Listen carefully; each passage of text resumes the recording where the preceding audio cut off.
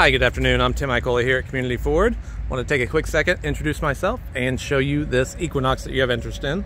Now, this one does have remote start, power lift gate, uh, seats fold down for extra storage space. Has Michelin tires matching all the way around. Wheels are still in great shape.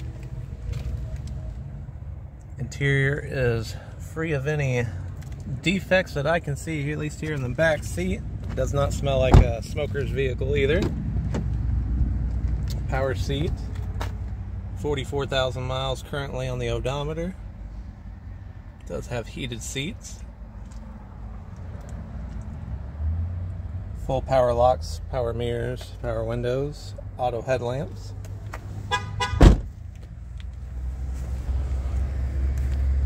Couple of small little rock chips up front, but nothing, uh, nothing major at all.